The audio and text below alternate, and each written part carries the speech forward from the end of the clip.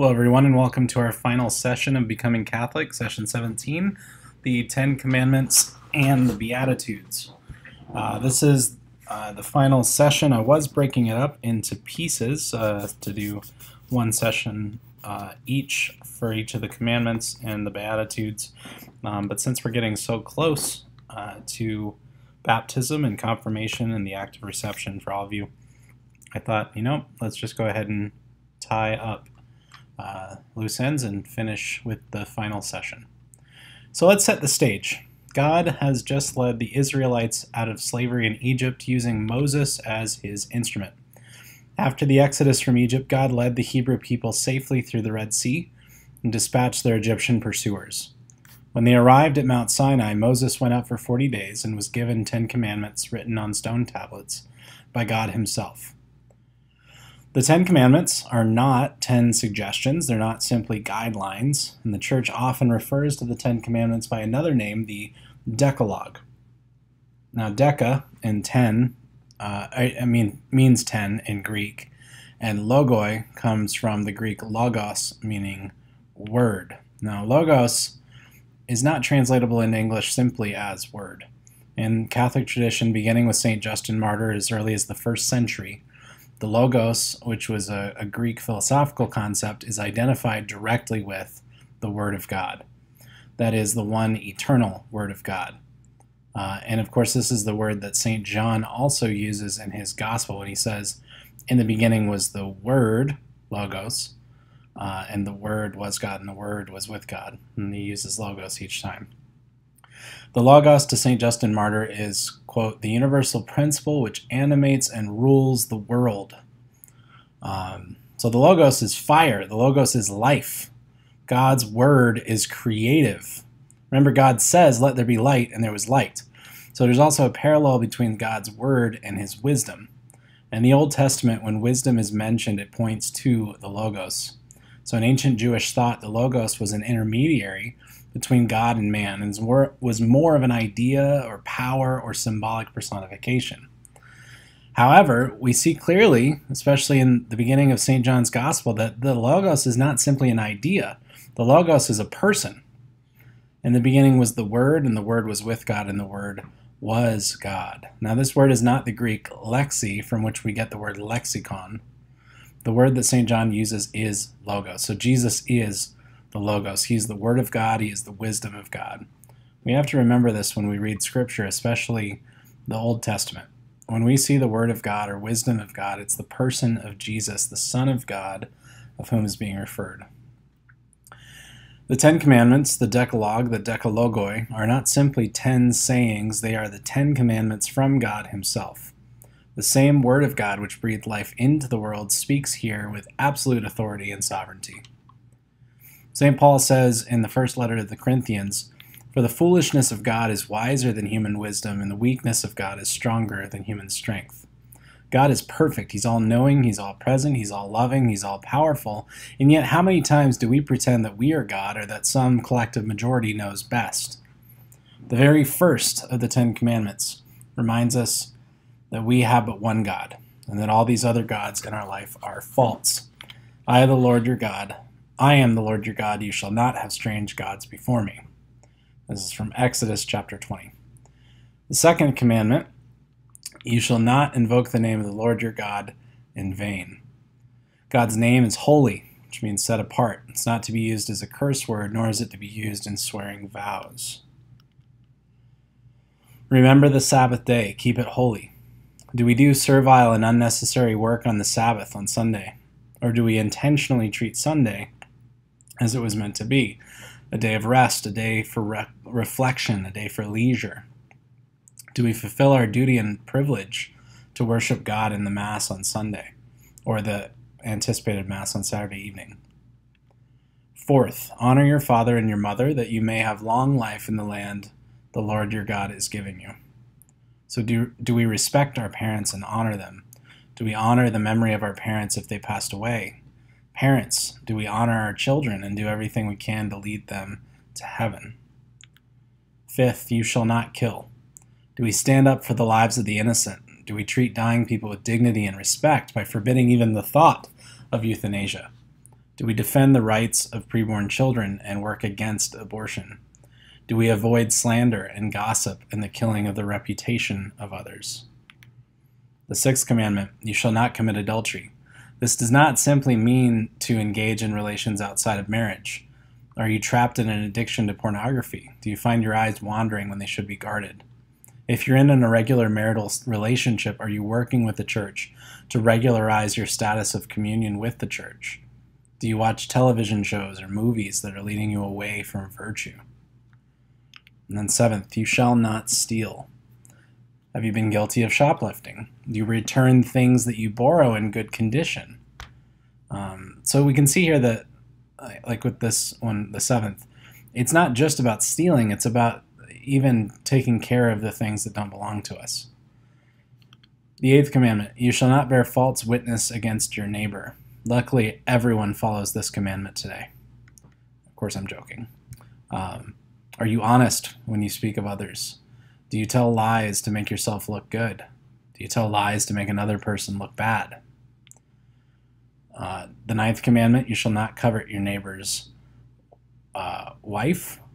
And then the tenth, you shall not covet your neighbor's goods. So, in our materialistic society, we can covet so easily. Do we watch advertisements on TV or billboards and think, I need that? If so, we might be coveting. In our society, this can be very simple to do. God invites us to be grateful for what we have and to have a well ordered relationship to things. We must seek to love God above all else and love our neighbor as ourselves. And then when we when we and then we must not love things but use things uh, to making sure that we're loving people and using things. This is the first step to not covet people or things.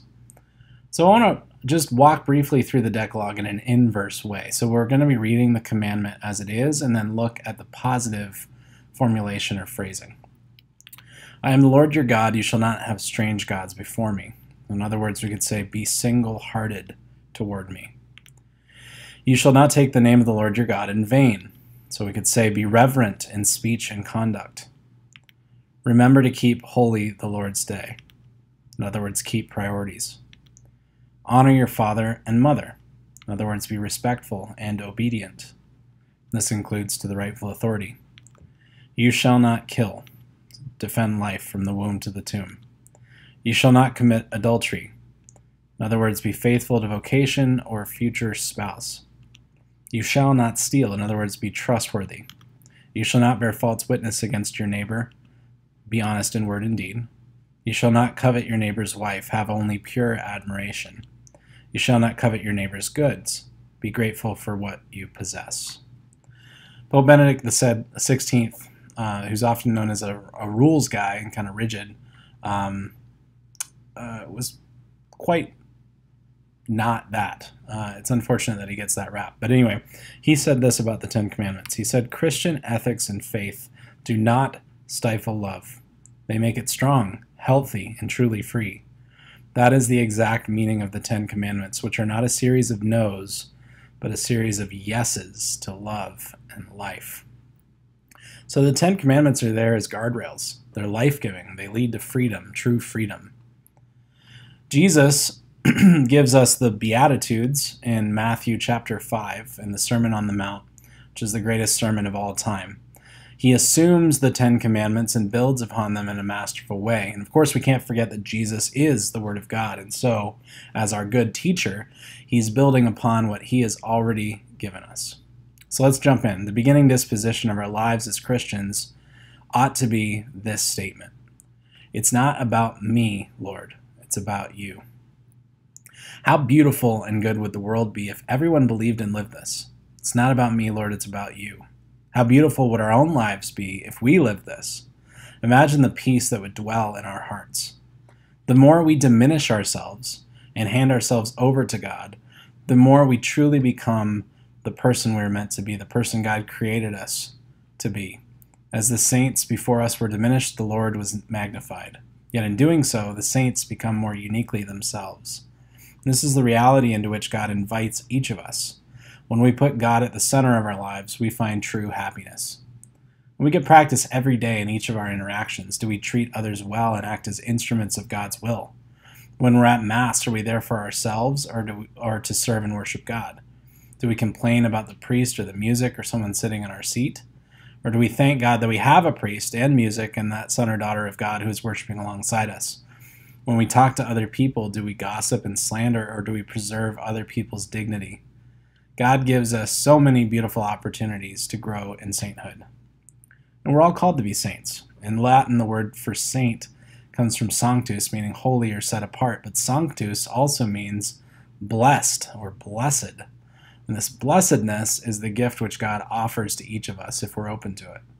Truly, blessedness is what every human person is constantly pursuing, whether they realize it or not, because all people want to be happy. There are a tremendous amount of things that people argue about, but we don't argue about happiness. We say, What good is wealth if it doesn't make you happy? But nobody says, Well, what good is happiness if it doesn't make you wealthy? The ancients used word like like uh, eudaimonia in Greek and beatitudo in Latin, which means true, real, lasting blessedness.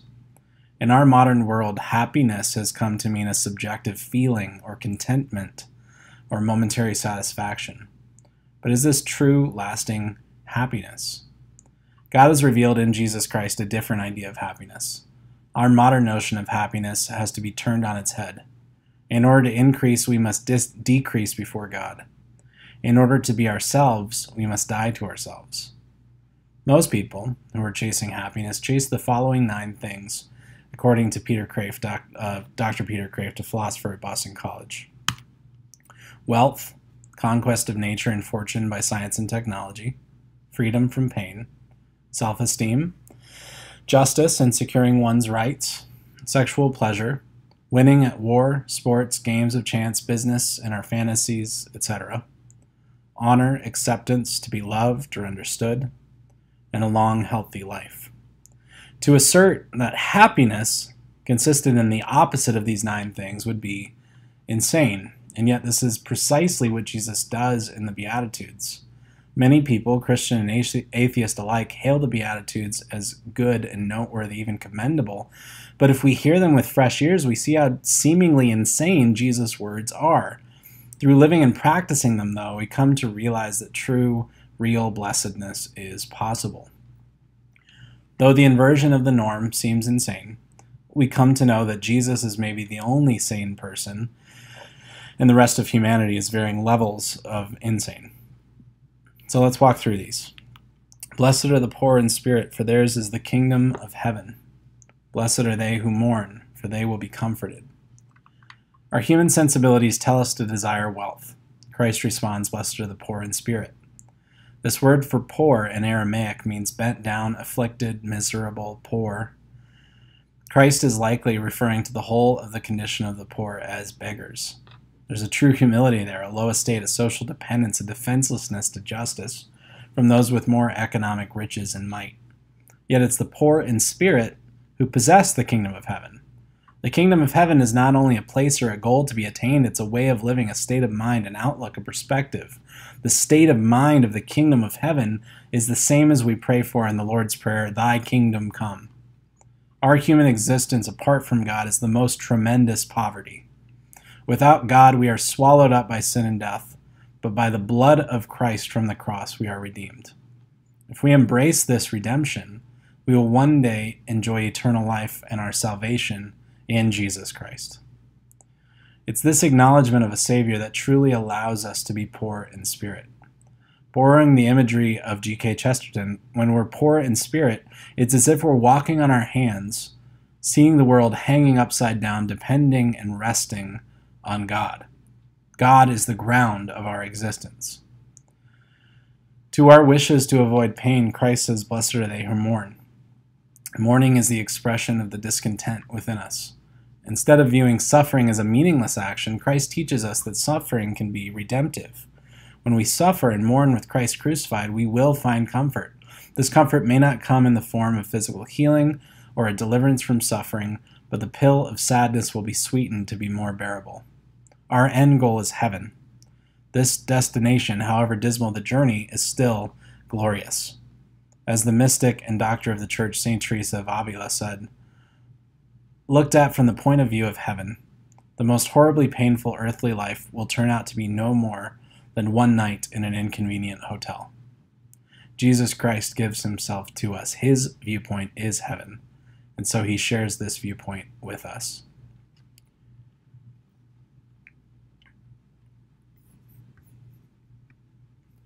I just realized while I'm recording this that I forgot to put the next um, ones up on a slide, so I apologize, but it, it's this. Blessed are the meek, for they will inherit the land. Blessed are they who hunger and thirst for righteousness, for they will be satisfied. The meek don't wish for honor, or to be famous, or to be glorified. These are the people that God says will inherit the land. Meekness is not weakness. I've heard meekness described as strength under power, under control.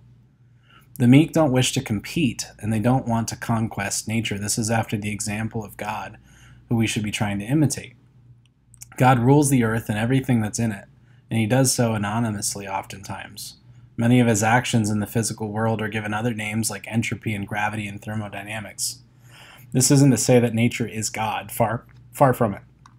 God is above the created order but he did set it in motion and sustains it. When we imitate God's model for interaction with creation, including one another, we get at the heart of what it means to be meek. What is the meaning of life? This question is asked so often in philosophy. For some, the answer is the accumulation of money, power, fame, land, or military or athletic conquest. Rather, life's meaning is found in wisdom, love, creativity, understanding, sanctity, and beauty. Competition depends on material things which diminish when shared. When we give something away, we no longer have it. However, with spiritual things, what we share in meekness and cooperation is not diminished, but is magnified. So, meekness is the opposite of competition, and this leads us to true, real blessedness and lasting happiness. We human beings wish for self esteem, satisfaction, and contentment with ourselves, and for some reason we believe that we will find this within. How many have said they want to go out and find themselves? Yet Christ says, Blessed are they who hunger and thirst for righteousness, for they will be satisfied. And just look at the example of the lives of the saints. These holy men and women throughout the ages that we hold up as models of true, real blessedness were often deeply countercultural. As G.K. Chesterton said, a dead thing goes along with the stream, only a living thing can fight against it. They did not seek to be self satisfied, but sought instead for the greater glory of God and the other. Paraphrasing uh, the French philosopher Blaise Pascal, Dr. Kreeft puts it this way There are only three kinds of people those who seek God and have found him, these are wise and happy. Those who seek God and have not yet found him, these are wise and unhappy. And those who live without either seeking God or finding Him, and these are both unwise and unhappy. You see, it's the seeking, the hungering and thirsting that makes all the difference. In fact, the eternal difference. Jesus said it even more succinctly than Pascal. Jesus spoke more succinctly than anyone ever. Seek, and you shall find, implying that non seekers do not find. Hungering and thirsting for righteousness means to seek sanctity. There's a thought that this means that we will be satisfied in the life to come in heaven only, but this isn't so. Through seeking Christ on this earth, we will receive on this earth the peace and joy uh, in, a, in a foretaste that only He can give. As St. Augustine said, because God has made us for Himself, our hearts are restless until they rest in Him. Blessed are the merciful, for they will be shown mercy. And blessed are the clean of heart, for they will see God. The world does not seek mercy, it seeks out justice. The world over, all people seek out their version of justice to give people what is due to them. And there are certain rights which are entitled to all. The chief among these is life. If anyone has their rights restricted, we fight for justice. On a personal level, if an injustice is done to us or our loved ones, we pursue justice in order to put things right. Justice is certainly a good and valuable thing, but it alone does not lead to true, real blessedness. Treating others as we wish to be treated is the beginning, the foundation. But justice must be combined with mercy. Mercy is the love of God reaching into our brokenness. When we reach into the brokenness of another without condemnation and work to lift them up, this is justice. Let's approach it from a different angle with a difficult question. What would it be like if you got the exact justice that you deserve? Now, we're all sinners, so we likely would not like the answer. We have hope in the mercy in which we were made. In our sinfulness, our Lord became man in order to give us, give his life for us, rise from the dead, conquer sin and death, and save us from our own wretchedness. Our unhappiness is our own. We were created not in wretchedness, but in mercy and love. By learning to live in Christ as we were meant to, we learn how to offer others mercy instead of chasing our own brand of justice. And we'll find that in giving mercy, we will obtain mercy. As we pray, Forgive us our trespasses as we forgive those who trespass against us. As God redeemed us and set us free, he offers us mercy. We must do likewise to all. The sixth beatitude refers to the clean of heart, also called the pure in heart. And this is about our desires, both spiritual and corporal. In order to see God, we must have clean and pure desires. Our desire for physical intimacy, for example, can be twisted in one of many ways. The family is the fundamental building block of society, and yet half of marriages today end in divorce. One third of mothers in the past years have chosen abortion. This is the choice to be able to fulfill sexual desire without worrying about the natural good and pure consequences of the sexual act. And this beatitude all comes down to this Do we serve God, or do we make a God out of our disordered desires? Impure desires such as lust, according to Dr. Peter Kreeft, are a blinding of the reason, a remarkable narrowing and skewering of vision, of perspective. When we let our minds and hearts be distorted by the pleasures of this world, we're giving in to empty promises which are merely distractions. If we give in to the various distractions of life and do not let our hearts and minds be clean, pure, and focused on God, we will never see God. On the other hand, as St. Paul tells us, Rejoice always. Pray without ceasing. Give thanks in all circumstances, for this is the will of God in Christ Jesus for you. Blessed are the peacemakers, for they will be called children of God. Blessed are they who are persecuted for the sake of righteousness, for theirs is the kingdom of heaven. It's interesting that Christ does not say, Blessed are the peaceful, Instead, he says, Blessed are the peacemakers. There's a definitive action here. We're called by God to make peace, to be warriors against war, to fight for an end to fighting. Peacemakers are held in high esteem by most people in the world, so is this really that countercultural? But Dr. Kreeft answers the question this way Because the peace that Christ blesses, uh, uh, uh, blesses is the peace the world cannot give. It is peace with neighbor, self, and God, not with the world, the flesh, and the devil. It's not a peace with greed, lust, and pride, but the peace that comes through poverty, chastity, and obedience, three most countercultural virtues. These two kinds of peace are in fact at war with each other. To be a peacemaker, we have to embrace Christ's radical peace, and we have to fight for it. Ever since the fall of man in the Garden of Eden, we have been at war with the enemy, Satan. We judge the enemy as wicked, we repress the enemy, and through Christ, negate his effects on our lives by clinging to holiness. We do not become children of God by being peacemakers. Rather, it's only as children of God will we be able to be peacemakers. As true Christians, we will be rejected and hated by the world, just as Christ was. The kingdom of heaven is our reward for enduring persecution well. We have a poverty of love within this world. We crave love from the fallen world, which is not of Christ. Persecution on its own is not blessed. But it becomes blessed when paired with righteousness. And this is not being self righteous.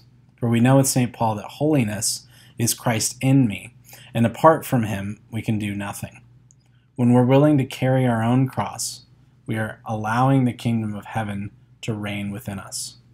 As Christ said to his disciples, If anyone would come after me, let him deny himself and take up his cross and follow me. For whoever would save his life will lose it, but whoever loses his life for my sake will find it. For what will it profit a man if he gains the whole world and forfeits his soul? Or what shall a man give in return for his soul?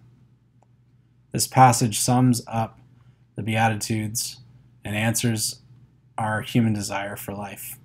If we lose our life for the sake of Christ, spiritually speaking, we become a new creation in Christ by the power and authority of Christ. All the desires of mankind are answered by Jesus Christ. In his death, we receive life. Through him, we are redeemed and are offered eternal salvation. And this is the meaning and purpose of our lives to know God, to love God, and to serve God imperfectly in this life and perfectly in the next. As St. Ignatius of Loyola said, God freely created us so that we might know, love, and serve Him in this life and be happy with Him forever. God's purpose in creating us is to draw forth from us a response of love and service here on earth, so that we may attain our goal of everlasting happiness with Him in heaven. In the name of the Father, and of the Son, and the Holy Spirit. Amen. Lord Jesus Christ, help us to become saints. Make us holy. We know that it is only through you and with you that this is possible. Send your Holy Spirit to inflame our hearts and allow us to see as you see, to love as you love, and to serve you in all things. Amen. In the name of the Father, and of the Son, and of the Holy Spirit. Amen.